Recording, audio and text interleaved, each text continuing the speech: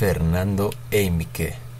En 1970, en la Ciudad de México, nace Fernando Emike. Es de origen alemán, sin embargo es un director de cine mexicano.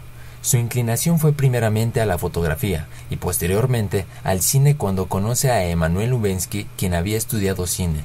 Decide entonces estudiar en el Centro Universitario de Estudios Cinematográficos de la UNAM, donde realizó el examen, pero fue rechazado.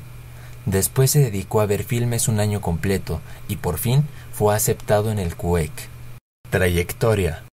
Al comienzo de su carrera, realizó videoclips para grupos de música como Molotov con Rastamandita, Jumbo con Siento que y Plastilina Mosh con Mr. P. Mosh, con cuales obtuvo varios premios MTV.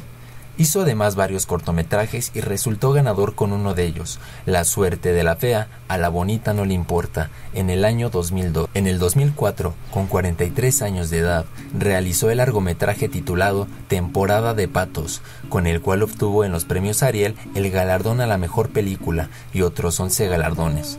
En el 2008, Tek Zaoe constituyó su segundo filme coescrito con Paola Markovich. Con dicho filme obtuvo el Premio Internacional de la Crítica Frispesi y el Alfred Bauer en Berlin. Esta película relata la historia de Juan, adolescente de 16 años que da un recorrido por la ciudad buscando una refacción para un automóvil que acaba de chocar con un poste, y es así como descubre que una familia poco antes ha perdido de esa misma manera al padre.